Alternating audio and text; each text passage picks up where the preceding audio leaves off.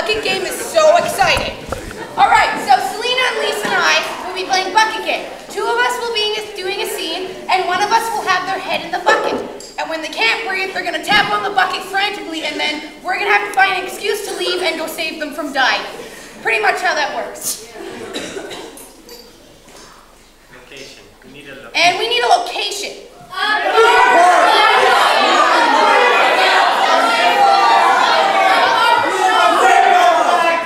All right, we got bookstore. Do you like this book? Yeah, dearie, I think I would. Oh, no, Fifty Shades of Grey, I don't think so. Oh, it's a, it's a good book. I- I- it's a classic. You know.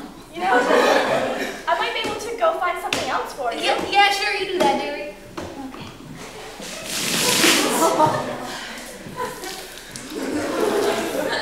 Are you looking for something specific, dearie? I was reading about aquariums and like the books just came to life in my hands and then they were like in the aquarium. It's like That, magic. that's so interesting, dearie. That's so interesting. Sorry, I'm just kind of sweaty. I'm kind of nervous. Uh, no, I've been here for 75 years. Wow. Yeah. That's so cool. I'm gonna go find another book though. Yeah. Hey, I was reading Moby Dick, and there you go. I win. Feud. Yeah, you know, I found the other Fifty Shades books. You know? Would you like to check out this one? Sure.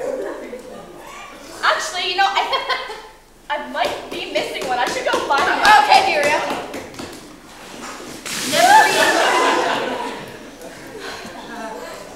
Okay, I have a complaint to make. There are like some kids over there and they're like squirting water guns around the library and you can't or like the bookstore and you can't do that in bookstore. It's gonna damage your books. It's It's not going okay. to damage the books. It's gonna damage I'm gonna go stop them right now.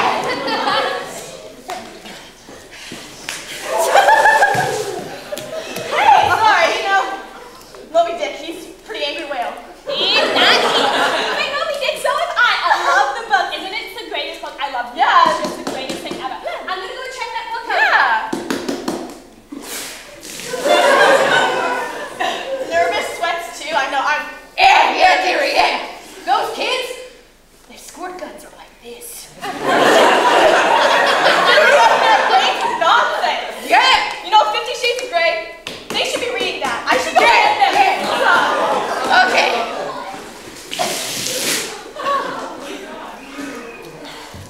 I don't know. There was like this bucket of water, and I thought, what the hell? You fell in the mop bucket, didn't you? You the mop bucket. Just Oh, fun stuff. Yeah. Ugh. Okay. So I have an idea for this book. Yeah. All right, you're, uh, I'll be right back. You're, you're You right. keep on leaving me, man. Keep on leaving me. You know. Your manager seriously needs to listen to me. I know. She got so mad. She pushed me into the ocean. That's the problem with having a bookstore in the ocean. Duh. I know. So it's insane. But you know, get lots of tourists.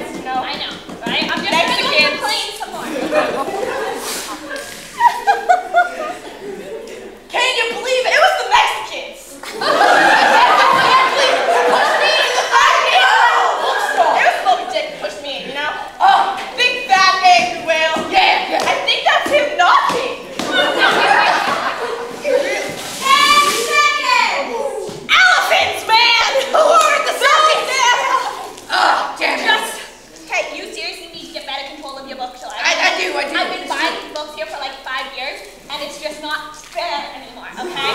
yeah, that